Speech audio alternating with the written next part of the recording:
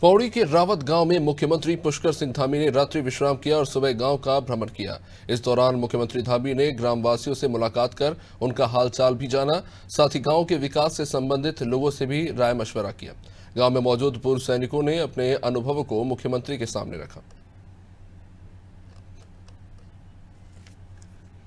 देवभूमि में एक हज़ार से भी मदरसे जो है वो संचालित हो रहे हैं और अब सरकार इन मदरसों को हाईटेक करने और शिक्षा प्रणाली में सुधार लाने के लिए लगातार काम कर रही है।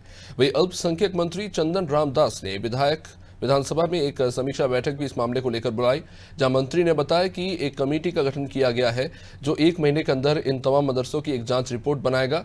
आगे उन्होंने कहा कि जितने भी बोगस मदरसे हैं, फर्जी हैं, उन्हें बंद किया जाएगा और कक्षा एक से लेकर आठ तक चलने वाले मान्यता प्राप्त मदरसों को हाईटेक किया जाएगा।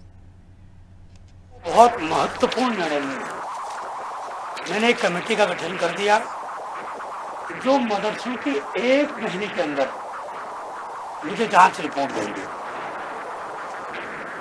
मैं उन जो बोगस मदरसे हैं, उनको मैं बंद करूँगा। और जो अच्छे मदरसे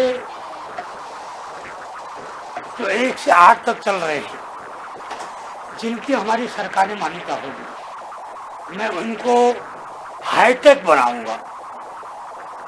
उसमें शिक्षा की व्यवस्था, कंप्यूटर की व्यवस्था, प्रेस की व्यवस्था और मॉडल के रूप में हम यहाँ पर मदरसा को हम आगे लाएँगे, या आज मैंने निर्णय लिया।